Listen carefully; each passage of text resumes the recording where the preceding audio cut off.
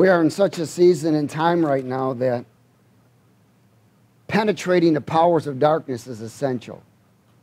And that's every one of our responsibility because if you're not penetrating darkness, they're penetrating you. Has everybody got it? If you're not going after them and penetrating and removing them and driving them out, they are driving you out.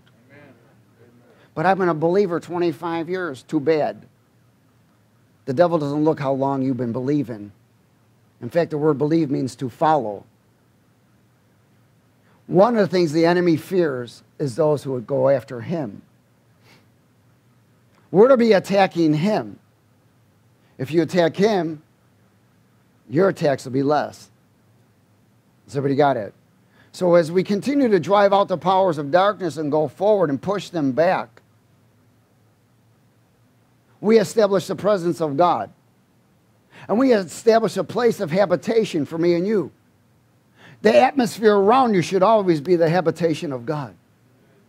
Does everybody understand that? Because if it's not the habitation of the Lord, it's the habitation of evil. One or the other. There is no in between. There are no gray areas. It's either light or darkness. Amen? So it is our responsibility not only to drive out, but it's our responsibility to take dominion and authority. It's our responsibility to feed our spirit so it has dominion over the soul until the soul is completely converted. There is a, a scripture I'm going to go to right away so we can get going with this Revelation 12. Revelation 12.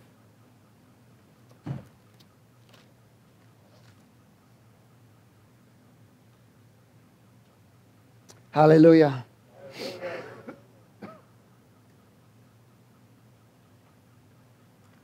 There are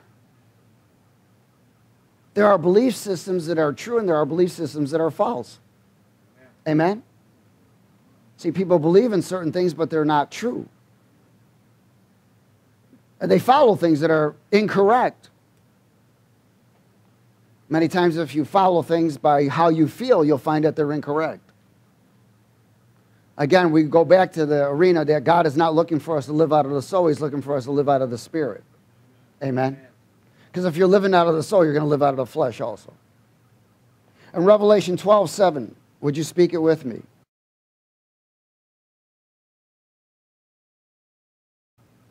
This is reality right here. This is important. It says that what? War broke out in heaven. Michael and his angels fought with the dragon. And the dragon and his angels fought, but they did not prevail, nor was a place found for them in heaven any longer. So where are they? In other words, this was the they were at one time in the habitation of God's presence, and the Lord removed them. And then war broke out between God's angels and Satan's angels, because he took a third of the angels with him. And the Lord said, That's enough of this. You are now removed from my presence. And they were sent to another place, and that place is called the second heaven. Is what we know as the second dimension. But in this second heaven is where Satan's kingdom rules. It is an atmosphere that's the next atmosphere beyond here. This is the first. Then there's a second, and then there's a third where God is placed, his dwelling place is. And it says here, and they, and they, verse 8, and they did not prevail, nor was a place found for them in heaven anymore. That word heaven again is representation of God's presence. But there will be a time when they will no longer be in the presence of the unseen. They will have to come out, they will all be driven into the physical realm where mankind will see them all. That will happen in Revelation time. And you just better hope you're not here then. Verse 9. So the great dragon was cast out, the serpent of old, called the devil and Satan, who deceives the whole world. Is he still deceiving the whole world? Yes, by false doctrines, doctrines of demons, false belief systems, all of these areas where people have this belief system or they want to believe what they want to believe instead of believing what the truth is.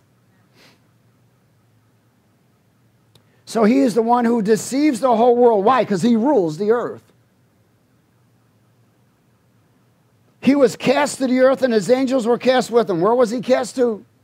The earth. In other words, the atmosphere. Again, there'll be a time when he is driven right into the physical realm. Right now, he's not. Although he uses people by possessing them with demons so that he, the devil can use them to do his work. And verse 10 Then I heard a loud voice saying in heaven, Now salvation and strength and the kingdom of our God and the power of his Christ. The power of his Christ. I love it. The power of his Christ. See, God took the Word of God and made a body. Not the dust. He took the Word of God and made a body. And he put that body in a womb of a human. And he filled that body with himself. And he was born into this realm. And he called himself the Christ because he was the power the, that is associated with the anointing, the eternal presence, power, and truth of God Almighty was all packed up in this little body, into this little seed that was going to grow and become a child, and become an adult, and become a man, a son of man, and then the Son of God, and God Himself. And he was going to express through this body truth. He was going to express a way home because man was lost. So God had to come himself to make the way, but he had to prepare the way for man to come home. So in this, it says here that now salvation and strength in the kingdom of our God and the power of his Christ has have come, and the accuser of our brethren. Honey, y'all know that the devil accuses you all day long even in your thoughts. He's always attacking you. Unworthiness. You should have done this. You should have done that. Guilt and condemnation. He's always attacking you. If you don't recognize that, you're going to constantly blow it. You'll constantly be taken out. You'll fall in the cycle of deception. For the accuser of our brethren who accused them before our God day and night, he's been cast down. In other words, he's been dethroned. He's been deactivated. He no longer has power over you, only if you allow him to. And it says, and they overcame him by the blood of the Lamb. That is by your repentance and being cleansed by the blood. Amen. By the word of their what? Testimony. That is called divine utterance. Everyone say divine utterance. Everyone say, God is still building my testimony. Your testimony continue to be built to the day you leave. But see, everything that God look at you don't you don't learn anything unless you go through something. Amen. Then God tests what you're going to do with it. Whether you're going to use His tools, His weapons, or you're going to use your own. And if you continue to use your own, you'll stay, you'll go through that test again until you finally start to use His. Amen. So they overcame the powers of darkness by the blood of the Lamb, by the word of their testimony, and they did not love their lives to death. In other words, they didn't care.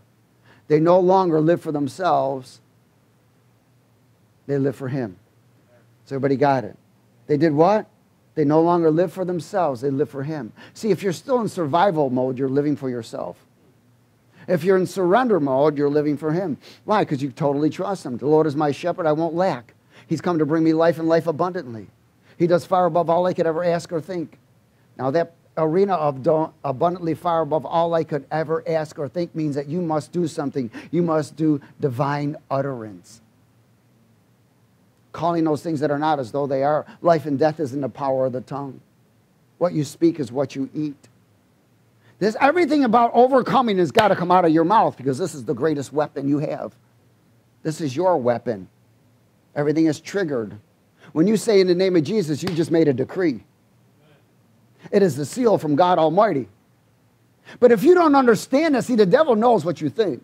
So if you don't understand it, if that's not an impartation to you, nothing happens. Nothing.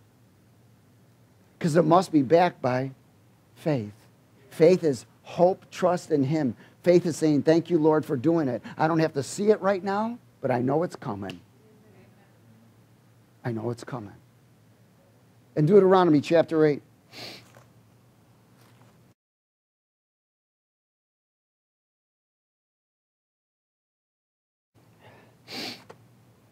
One of the things the enemy constantly accusing us, he accuses you in your soul so that your emotions and your thoughts prevent you from doing what God has given you to do.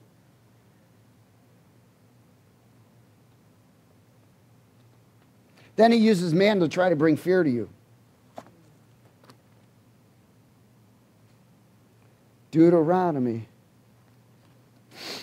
chapter 8.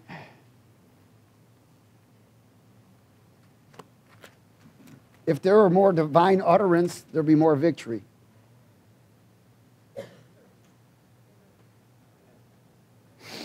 You know, one of the things I've always realized, and I might have shared this before, is that sometimes, uh, you know, we have that worst, that worst first thought. Ah! Or we have that arena that the first thing that you feel comes out of your soul. so that first thing of thought, the first thing, ah, usually the first thing you, you feel or whatever is usually soulish or until you allow the spirit to kick in. That's why we have a tendency to want to react instead of respond. That's why it's our responsibility to choke react until respond comes. Amen? So when individuals are still respond, uh, reacting more than they are responding, opens the door to the enemy. Because what you sow is what you reap. Amen? What you sow is what you reap. What you speak is what you eat. What you eat is what you become. Goes back to that again. Deuteronomy chapter 8 and verse 1. Would you speak it with me, please? Every command which I command you today, you must be careful to observe, that you may live and multiply and go in and possess the land of which the Lord God swore to your fathers. Now, I want you to know something. God has a specific destiny for you, He wants you to possess it. But there's something you must do cooperate. You cannot possess something without cooperation. It's like somebody giving you the wrong directions. and that's what the enemy loves to do give you wrong directions. Verse 2 And you shall remember that the Lord your God led you all the way these 40 years in the wilderness to what? So I want you to know that you and I go in the wilderness so he can humble us. He likes to get our attention. So we will go through trials, we will go through tribulations, we will be afflicted. The word says, Many of the afflictions that are righteous, but the Lord delivers them out of them all. All. If you cooperate. It's like somebody, if you fell in a ditch 10 feet deep and you can't crawl out because it's too wide, you got to wait for somebody to throw the rope or send down a ladder. But if it's too deep, you got to have a rope. That's how God is with me and you. If you're not willing to cooperate. So when somebody throws down the rope, you can either pick it up, grab hold of it or not, or still try to do it your own way, or wait for something different. You don't want a rope, you want a ladder long enough. Or you want God to just translate you out of there to the top. See, but there are things that you want that God says, that's not what I want. So we must begin to line up what He wants in our life and not what we want in our life. Amen? So he says, Look, man, you're going to go in the wilderness to humble you and to test you. To know what is in your what? In your heart. Whether you would keep his commandments or not. In other words, you are willing to follow him or not. Many people are crying to go, Lord, why haven't you done this? And he's saying, Why haven't you done this? Why haven't you done this? Well, You're waiting on me, I'm waiting on you. In verse 3, so he humbled you, allowed you to hunger, and fed you with manna, which you did not know, nor did your fathers know, that he might make you to know that man shall not live by bread alone, but man lives by every word that proceeds from the mouth of the Lord. We've heard that before. Even Jesus used that same scripture to kick butt on the enemy when he was in the wilderness with the devil, wasn't he? So we got to grab hold of something. You and I do not live by bread alone. That sustains us in this realm, water and food. But sustains you in the spirit is the word and his blood, the spirit. That's why he says he wants eternal life must eat of my flesh and drink of my blood. In other words, you must worship. Again, this, your tongue, your mouth is the altar. This right here is the altar. You'll either defile it or you'll honor it. One or the other. You'll honor what he says, or you'll defile what he says. Is everybody okay? Isaiah 55.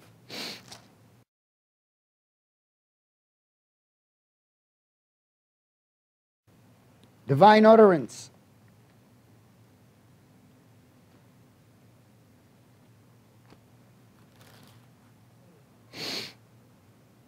Isaiah 55 and verse 10.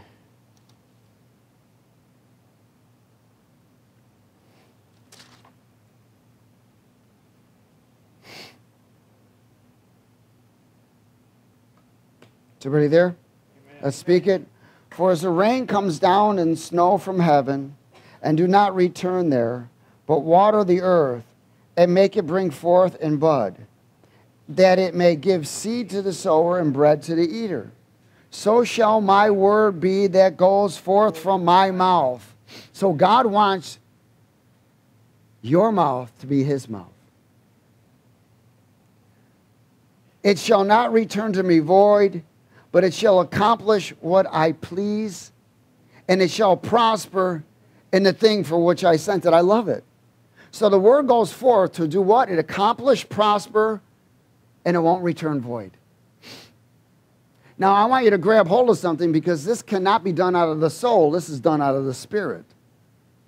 It must be backed by the anointing. Everything that you and I do must be backed by the eternal presence, power, and truth of God Almighty. Or it will return void. Somebody got it? in John 6.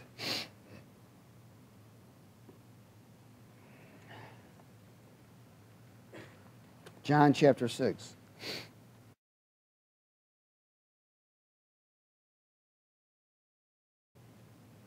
In verse 63.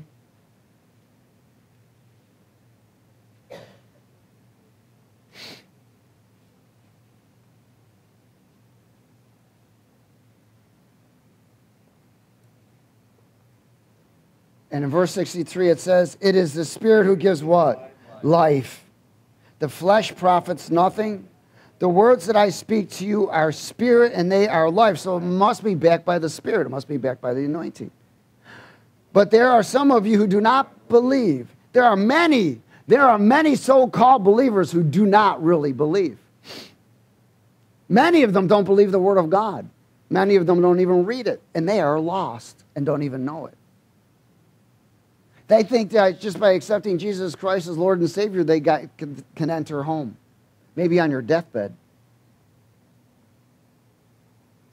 But there's a place where you and I accept Jesus Christ as Lord and Savior. We enter a whole nother realm, and everything is now available to me and you. Everything. Because it's training for reigning. He didn't save me and you just to build our own homes and do whatever. Amen? And build our own empire. He saved me and you so that he can move through us to rescue all the rest of the souls. Because if a person is not heavenly bound, they're earthly bound. Amen? Again, there's nothing wrong with having nice things, but so many people are so caught up in their own arena and atmosphere that they've lost sight of the eternal atmosphere. So they're not really driving out darkness. They're actually associating with it and don't even know it. Because many of the things that they spend their money on or all the other things is associated with selfishness, self will, self fulfilling. Is everybody okay? Acts chapter 2.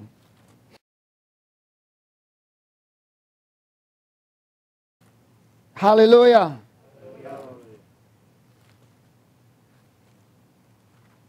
Many people say, I want to see the whole world. Well, you will. When you go home, you can take a look down. You can see it all at one time.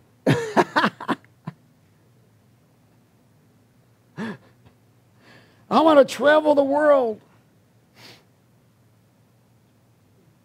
We want to travel in the spirit to rescue as many souls as possible.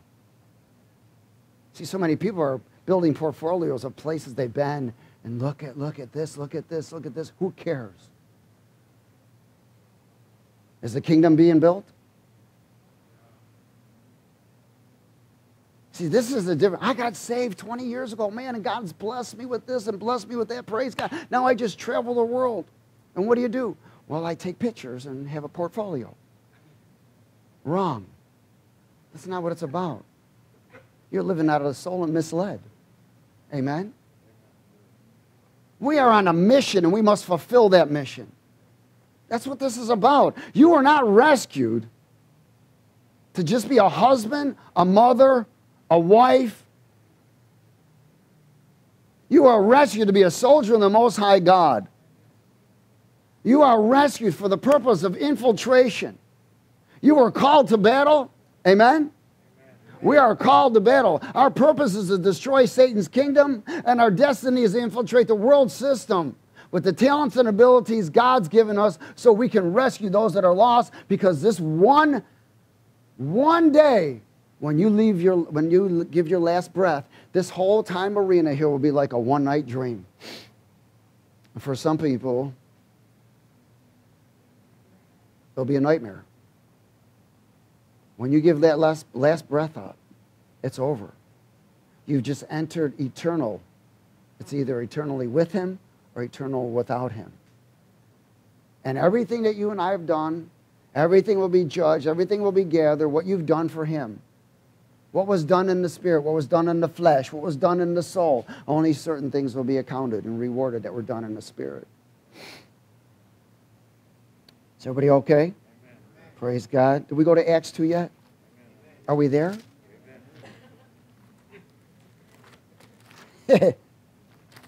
Acts 2 and verse something. Are you there? oh, glory. Let's start at verse 1. When the day of Pentecost had fully come, they were all with one accord. Everyone say one accord. One accord. In one place. And suddenly there came a sound from heaven, a rushing mighty wind. It filled the whole house where they were sitting. And there appeared to them divided tongues as of fire on one, and one sat upon each of them. And they were all filled with the Holy Spirit, and began to speak with other tongues as the Spirit did what? Gave them utterance. Woohoo! Man, I, am telling you, when you are baptized and filled with the Holy Spirit, there should be utterance. Utterance. Divine utterance. So they were, that was the expression of the new birth of the church. The, the, I want you to know that the body of Christ, the body of Christ, now think about this. When we just talked about the power of Christ? The power of Christ was Jesus formed, amen? And, the, and uh, back with the anointing, the eternal presence, power, and truth of God Almighty, was Jesus filled with the Spirit of God? You betcha. He was the Spirit of God.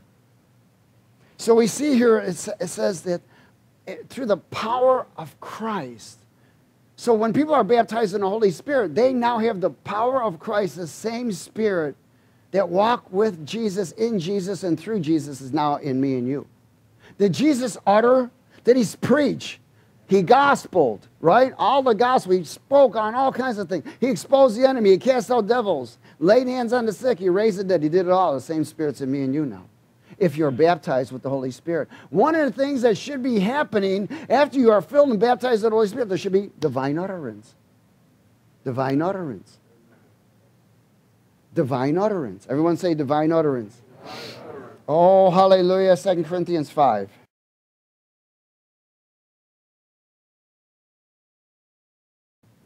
If it divine meaning backed by the Spirit of God. 2 Corinthians chapter 5 and verse 16. Let's speak it. Therefore, from now on, we recognize, we regard no one according to the flesh, even though we have known Christ according to the flesh, yet now we know, thus no longer know him. Therefore, if anyone is in Christ, he is a new creation. All things have passed away.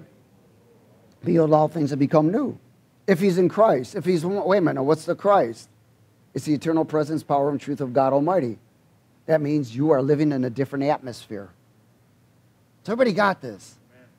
You are living in a different atmosphere. You are from a different place now. You are no longer from the earth, even though you're here. You are from heaven. You are from your home. You've been reconciled back home again. So we need to begin to think like king's kids. soldiers, warriors, eternal lights. We need to begin to think that way. That's why he sets your mind on the things above and not from the things below. Are you ready for more? Oh, hallelujah. Verse 18. Now, all things are of God who has reconciled us to himself through Jesus Christ and has given us the ministry of what? Reconciliation. That is, that, the, that God was in Christ, reconciling the world to himself, not imputing their trespasses to them, and has committed to us the word of what? Reconciliation. That word of reconciliation is called divine utterance. Now then, we are what? We are what? We are ambassadors. For who? Christ. We're not ambassadors for a nation. We're ambassadors for a kingdom. We are ambassadors of Christ. Wow. As though God were pleading through us, we implore you on Christ's behalf, be reconciled to God. For he made him of who knew no sin to be sin for us, that we might become the righteousness of God in him. So I want you to know that God is pleading through you. Pleading means speaking. Pleading is what? Speaking. That means he's trying to bring a divine utterance through you all the time. Psalm 45.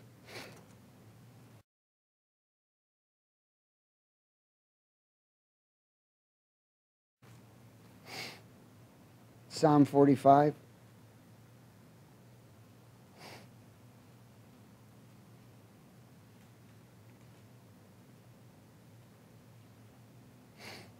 In verse 1, my heart is overflowing with a good theme. Out of the heart speaks the mouth. My heart is overflowing with a good theme. I recite my composition concerning the king, my tongue. Everyone say, My tongue is the pen of a ready writer. In other words, you're rewriting certain things through divine nature, through your divine uh, utterances. You are rewriting things. You are changing courses. You are changing history. Things are changing right now because of people with divine utterance. You will change the circumstances in your home, in your life, in your job, in your health, in your finances by divine utterance. But so many people are taking control on how they feel. And they don't, they don't step into the spirit because they're, they're taken captive in the wrong atmosphere. See, you've got, what does it say? When the spirit of heaviness comes on, lift, uh, lift up praise. Amen? Why? So a garment of praise comes upon you, and the enemy must scatter. That's why it's amazing where people don't get this yet in the area of worship. When those words come up, you're actually speaking divine utterance. Something's going on in your life. Man, I sing it full force. I don't care if I sound like a cow. It's going forth.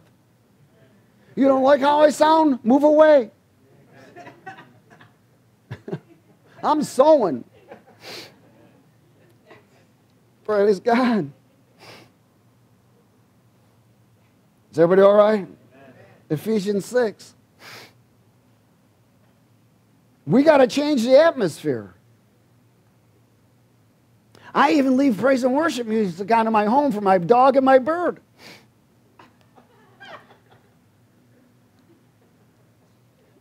I want my house to maintain an atmosphere of God's presence. Hallelujah.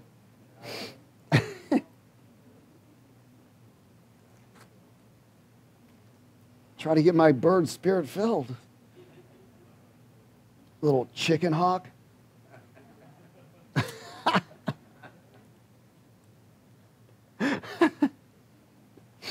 Second Corinthians chapter 5 and verse 16. Did we go there already? I mean, Ephesians 6. Ephesians 6 and verse 14. Is everybody there? Let's speak it. Stand what? Stand for, therefore, having girded your waist with truth, having put on the breastplate of righteousness, and having shod your feet with the preparation of the gospel of peace. Above all, taking the shield of faith with which you will be able to quench all the fiery darts of the wicked one. And take the helmet of salvation and the sword of the Spirit, hello, which is the Word of God, praying always with all prayer and supplications in the Spirit, means praying in tongues. Being watchful to this end with all perseverance and supplication for all the saints, and for me that what? Utterance may be given to me, that I may open my mouth boldly to speak, known the mystery of the gospel, for which I am an ambassador in chains, that in it I may speak boldly as I ought to speak. Is that powerful? What? You say, man, pray for me. I want divine utterance. I don't want anyone to interfere. I don't want nothing to interfere with what God wants me to speak. Divine utterance. We are operating in a dying world. See, people don't realize that the world is dying. Does everybody know that? The world is dying. It's dying. People in the world are dying. Children are dying. Some of them are starving to death. People are being persecuted. People are dying left and right. People are going to hell. They're dying. The world is dying. Everything is on its way for dying death. Why? Because death rules the earth now. It's called the prince of power of air, death. Has everybody got this? That's why you and I are rescued. So that we are the light, the salt, we are the truth, and we're to bring forth divine utterance to penetrate darkness. Oh, glory. We must be filled with the Spirit to speak His words. Proverbs 15.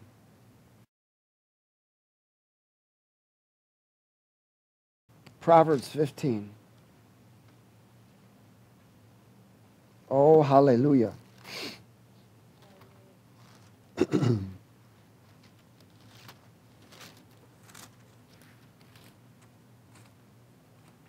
verse 22.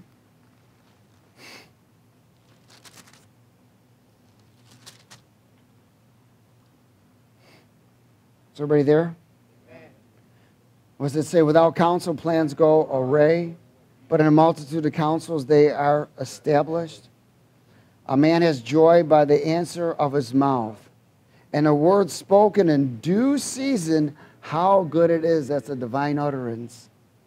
The way of life wins upward for the wise, that he may turn away from what? Hell below. Wow. So a word spoken in a, in a in due season is good. In other words, you may be going through something. Somebody may come up to you and give you a word. It could be an encouraging word. It could be anything. You could pick up the Word of God and open up to something, and all of a sudden you just hear the Spirit say, boom. And He says, I want you to speak this. Why? Because I want you to bring divine utterance into this realm. See, you and I are taking things that are eternal and bringing it into a temporary place so that we can change what is going on in a temporary realm and establish an eternal position. What a responsibility that is for me and you. Again, we weren't rescued just to have a good time. We were rescued to fulfill a mission. And we can't lose sight of that. Amen? 1 Peter chapter 4.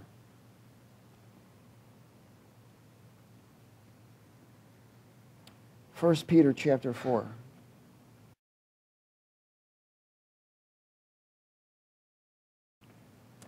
In verse 7. 1 Peter 4, verse 7. Let's speak it. But the all, end of all things is at hand. Therefore, be serious and watchful in your prayers. And above all things, have fervent love for one another, for love will cover a multitude of sins. Be hospitable to one another and without grumbling. Now, is grumbling divine utterance? Heck no. And as each one has received a gift, minister to, it, one, to one another as good stewards of the manifold grace of God. If anyone speaks, let him speak of the oracles of God. The oracles of God is divine utterance. It's his word. If anyone ministers, let him do it as with the ability which God supplies, that in all things God may be glorified through Jesus Christ, to whom belong the glory and dominion forever and ever. So, in this, you and I are speaking the oracles of God. It's also representation of the mysteries of God. Go to 1 Corinthians 12.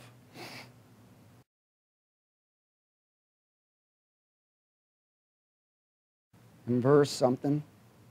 I guess we'll start at 4. Is everybody there? 1 Corinthians 12, 4, let's speak it. There are diversities of gifts, but the same Spirit. There are diversities of ministries, but the same Lord. There are diversities of activities, but it's the same God who works all in all. He just mentioned the Trinity the Holy Spirit, the Lord Jesus, and the Father. Verse 7 But the manifestation of the Spirit is given to each one for the profit of what? The profit of all. For each one is given a word of wisdom. For each one, uh, for each, for to one is given a word of wisdom. Through the Spirit, to another the word of knowledge, to another the same Spirit, to another faith, the same Spirit, to another gifts of healings, the same Spirit, to another workings of miracles, to another prophecy, to another discerning of spirits, to another different kinds of tongues, to another interpretation of tongues.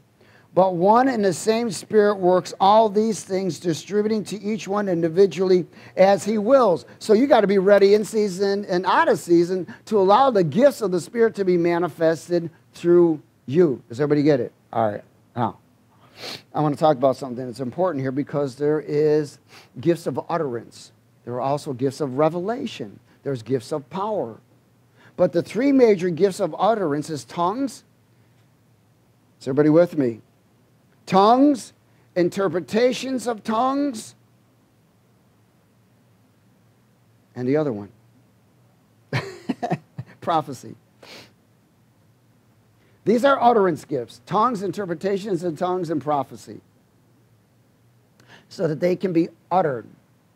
Now, even when the revelation gifts are manifested, it, it's still, you still have to utter it.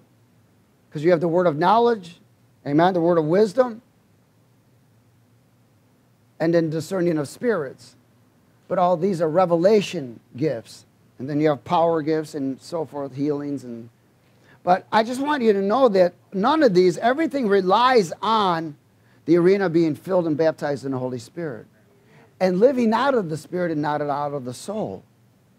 Because living out of the soul will not produce the gifts of the Spirit, to produce soulish talents, soulish assumptions, you know, you get a lot of people that can talk about people and whatever because they can, in other words, read people's body language and whatever. That's not, that's not gifts of the Spirit. That's got nothing to do with it. Gifts of the Spirit is when the Spirit speaks to you or you see something and it's supposed to be divinely uttered. It's divi- utterance. Utterance, again, is essential for each and every one of us. That's why there's an area when you're praying in tongues, that's that's the most important gift that there is praying in tongues. And so many people have neglected it. So many people don't even want it. I don't want that gift. I'm satisfied with salvation. Well, how stupid can you be and still breathe? That's a part of salvation.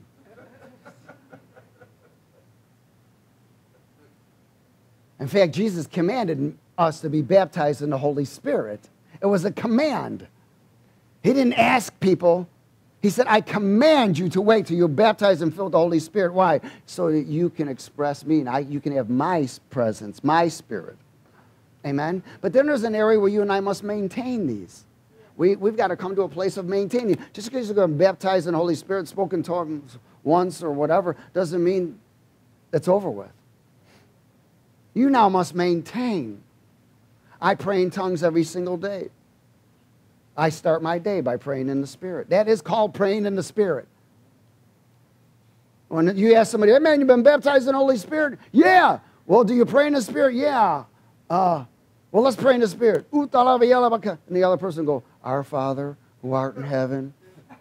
That ain't praying in the Spirit, homie. That's praying in your own understanding. When you pray in your own language, it's called praying in your own understanding. But there's a place where you pray in the Spirit by tongues, which is essential because you're speaking directly to God, you're speaking the mysteries of God, and you have divine utterance where you are able to interpret what the Spirit is saying. Now you're able to give a word of knowledge, word of wisdom. You're to discern. All of these things come out where the true divine utterance can come forth and the atmosphere can change, people can change, and it penetrates the heart. Hallelujah. Hallelujah. All right, let's go a little further. 2 Peter chapter 1.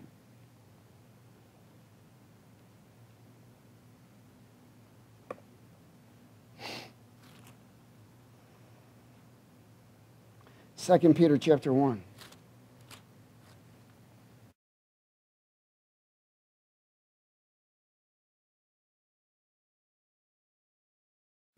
In verse 2.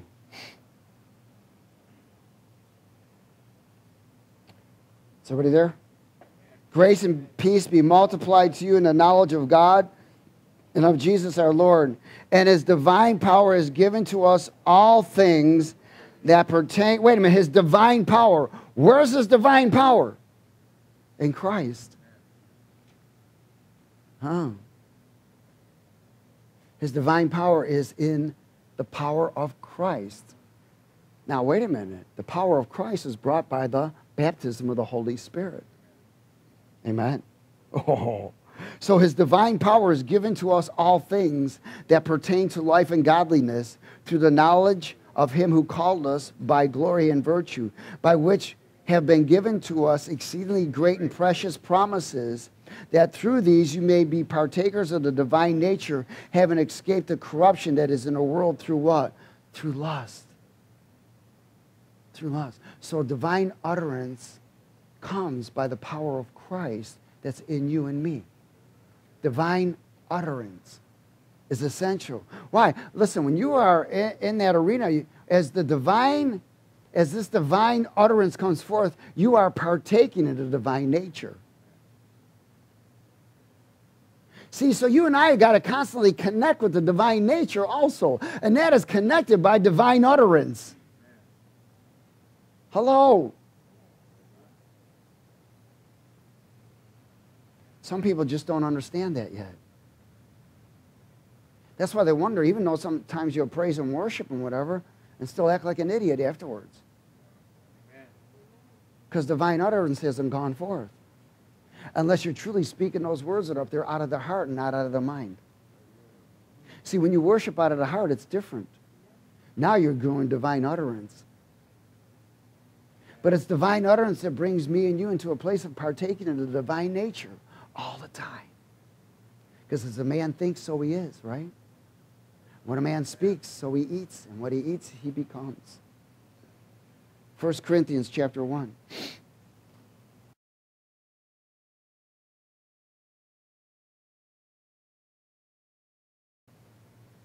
1 Corinthians chapter 1 and verse 4.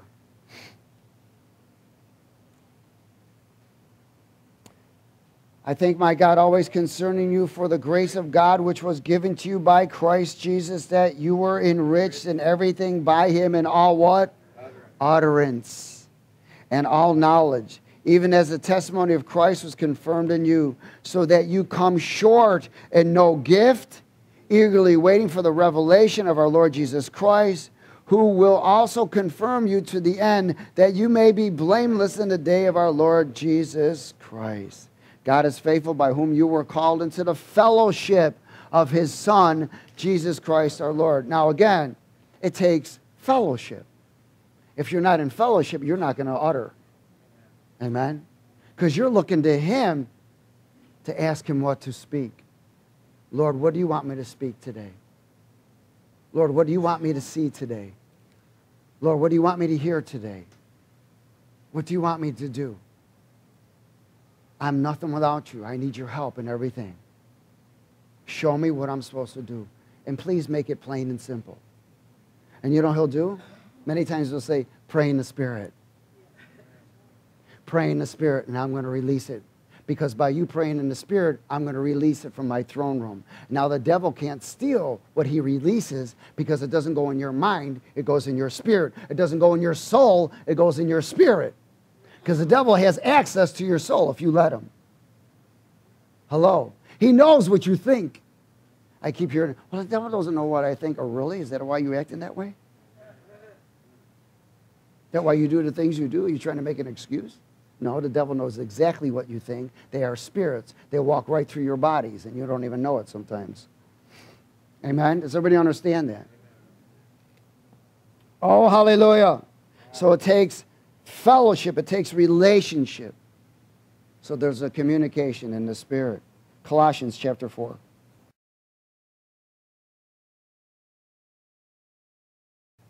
Takes endurance takes persistence and consistency.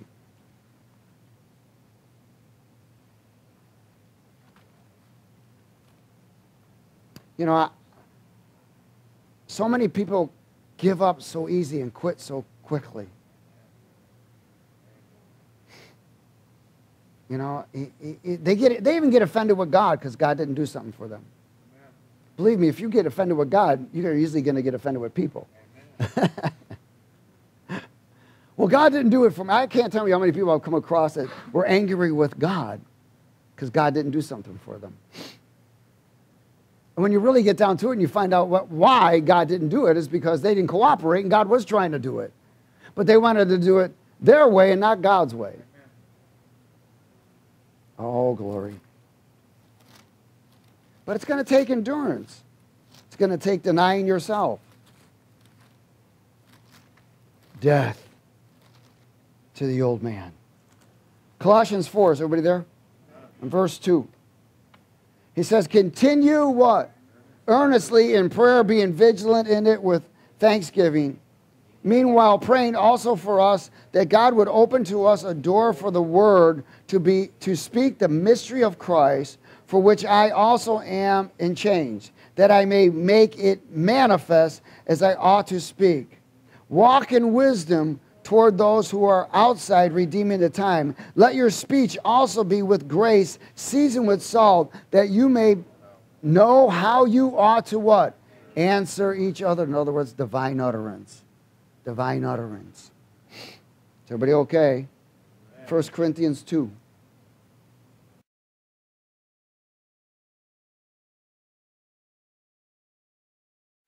Hallelujah. You know, when the flood of the enemy comes in, all kinds of stuff begins to happen. Confusion comes, whatever. You know, people panic. Not if you're in the spirit, though. Because the enemy can only get so close to you. He can't go beyond that atmosphere. But again, he likes to make paper airplanes with messages on them and throw them. You know. Then people, people go, oh, they don't read them, you know. Just let them be. you know, panic.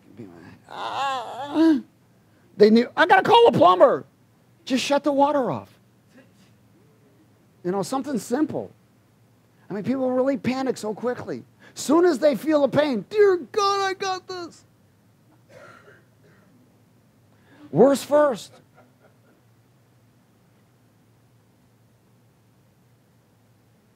Hello? I mean, does everybody get it? We always think the worst first. We get a cold, or, oh God, I got cancer. The devil always wants to put cancer on you.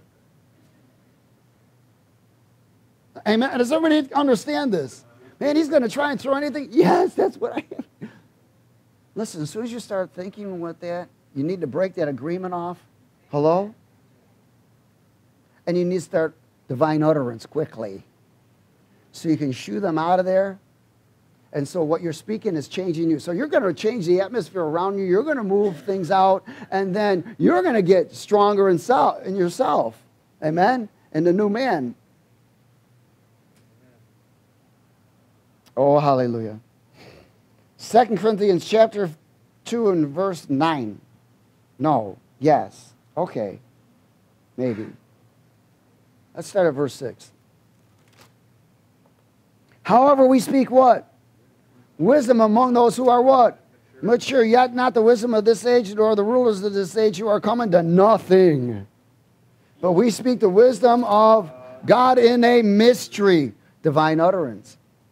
The hidden wisdom which God ordained before the ages of our for, for whose glory? Our glory. Which none of the rulers of this age knew, for if they'd known, they would not have crucified the Lord of glory. But as it is written, Eye has not seen, nor ear heard, nor entered in the heart of the man the things which God has prepared for those who love him. Okay.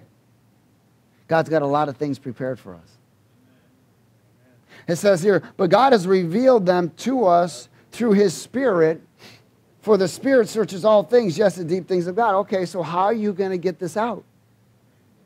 See, many people have to search and try and understand the Word I want you to know that only through the Spirit of God can you interpret what God is saying through the Word. But listen, you pray in tongues, you have a divine utterance, these mysteries are going to be brought and put in your spirit. Do you know that the whole plan of God and the, the whole destiny of your life is in your spirit already by praying in tongues? It's already there. But the enemy loves to come and bring distraction then we sway. We become complacent, compromising, and then even lazy. When you hit lazy, you know you're in real trouble. Amen? Amen. Oh, glory. Is everybody okay? Divine utterance. I'm going to close here. I think 2 Timothy 4. The mysteries of God divine utterance. 2 Timothy chapter 4.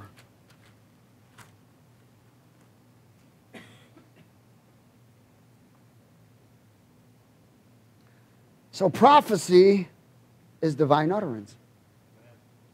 But you can't just prophesy something that is not led by the Spirit. Amen? Amen?